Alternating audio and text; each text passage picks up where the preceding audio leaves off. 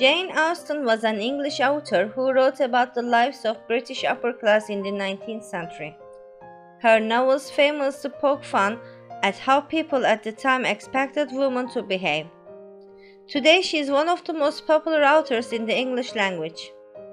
Jane was born on December 16, 1775, in the county of Hampshire, England. Both her father George and mother Cassandra came from a fairly wealthy families. They provided Jane and her seven brothers and sisters with a home that encouraged creativity. Her father owned a large library which Jane would often use for her studies. For an early age, Jane began writing and putting on plays with her sister. Her father bought her expensive paper and quill pens to encourage her writing. In 1785, Jane was sent to a boarding school where she studied foreign languages, music, and dance. After returning from boarding school, Jane never moved away from her family again.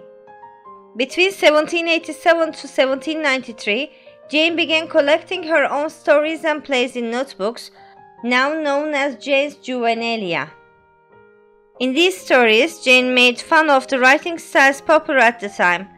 In those days, novels were expected to teach the reader ways of how to live their life. One way of living that was encouraged at the time was to be very sensitive and aware of your emotions. This is known as sensibility. Jane thought this was ridiculous. She felt that characters in such stories didn't have common sense and were too emotional. In the story Love and Friendship, Jane pokes fun of sensibility by making her characters cry and hug every time they meet each other. This story gives an early indication of the funny and intelligent writer Jane would become. In her early 20s, Jane went to many dances and parties in Hampshire. She also traveled to social events in London and Southampton.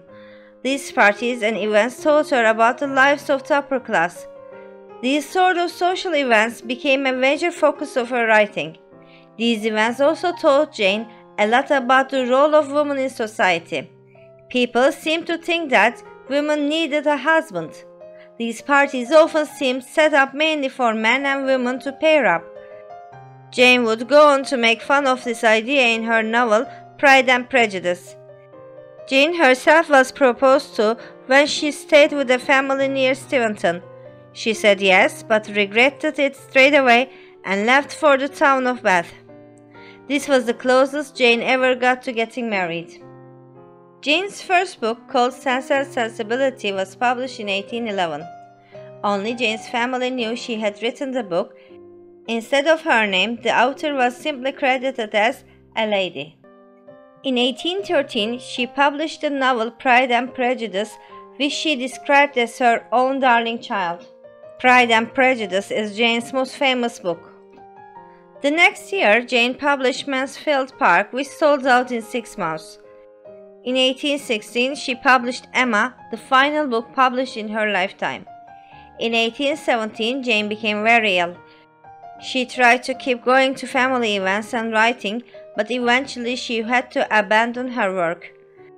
She died on July 18, 1817 at age of 41.